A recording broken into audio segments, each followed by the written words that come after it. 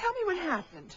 Because I thought that Rebecca was just never going to let you go. Well, I didn't think she would either, but I finally decided to take another shot, and she agreed to a divorce. Do you think that she'll keep her word? I think she will. I offered her the moon. I really don't think she'll change her mind.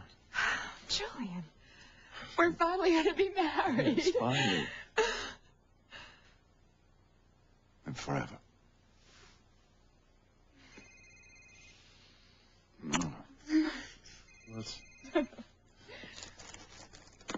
to hospital.